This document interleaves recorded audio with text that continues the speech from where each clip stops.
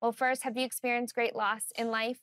Author Mae Renfroe has, and she joins us today to share her journey of finding healing and how we can take the broken pieces of our lives and turn them into something beautiful. Well, welcome, Mae. Thank you so much for joining us today. Good morning. I'm glad to be here.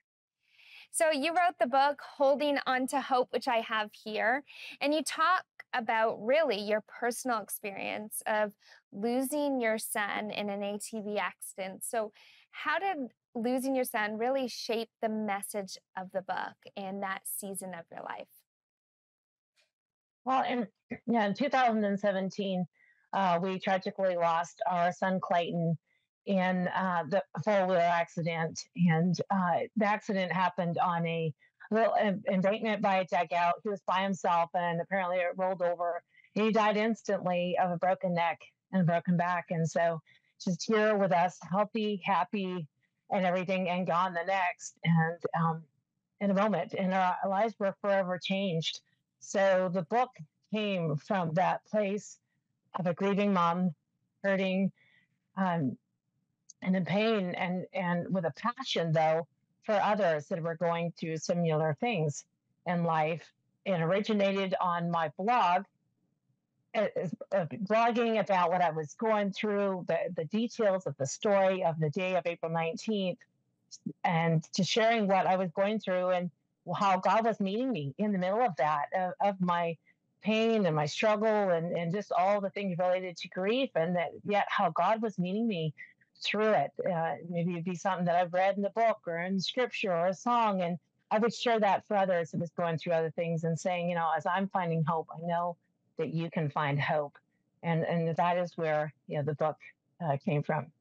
Yeah, and that really is the message of the book, you know, the an unimaginable loss and tragedy. And yet in your writing, you speak about finding healing and redemption in Christ, even after experiencing such a deep loss. So, can you share maybe some of the practical ways that God did bring healing to you and your family during that time?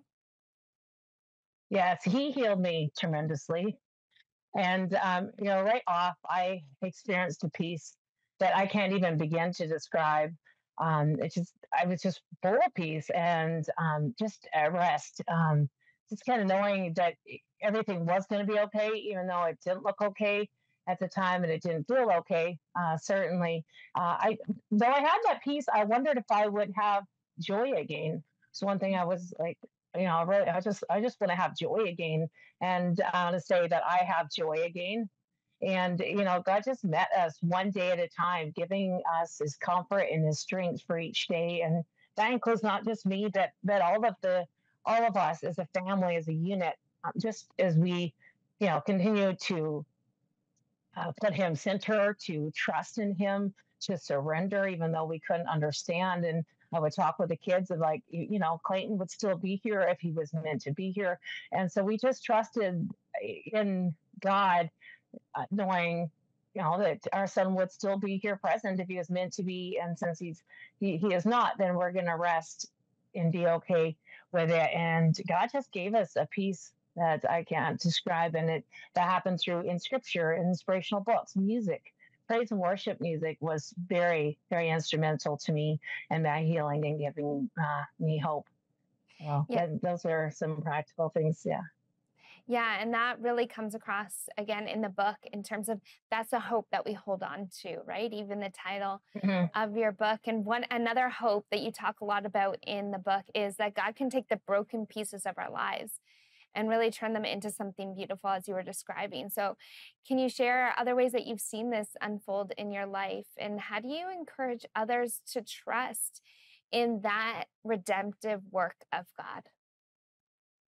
Yes, well, he was his was there for me, you know, just every every step of the way, and he's taken our story that seemed uh, senseless and unfair, and, and all of these these things, and have really through that given me an avenue to give hope and encouragement for others. And I love the verse Romans eight twenty eight.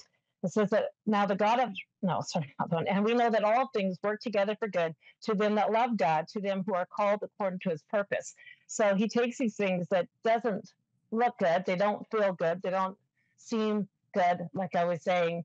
And that he can use those things uh, for our good and to bring glory to him. And I love the story of Joseph. I, I've really, you know, come to love that much more since our loss. And it's all those things uh, for Joseph that was going against him and going wrong in his life. Yet God was using those things to get him to where he needed him to be to help those people at that time of the, the famine.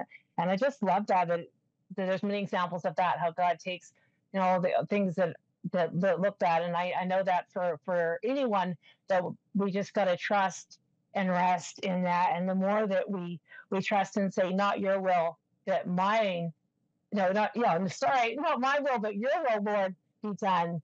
And, and we surrender and rest and trust. And then that's where he can do that restorative work. And that's where that redemption and that healing comes from. But it really takes a surrender. And I think a day by day, um, just submitting and saying, you know, I this is hard, but at the end of the day, I, I want your will and not my will. And I had to keep doing that. And for myself, I have to say, you know, things hard. And um, I just said, but I, I want your will and your way in my life, God, and, and help me to rest and, and be okay with that.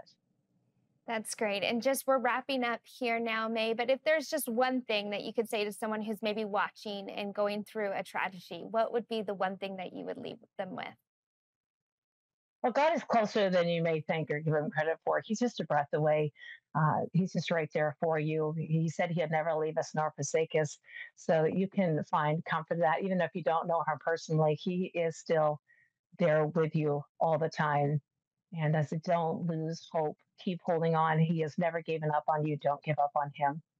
Well, thank you so much for joining us today, Mae. For more information about Mae's book, Holding On to Hope, you can go to 700club.ca.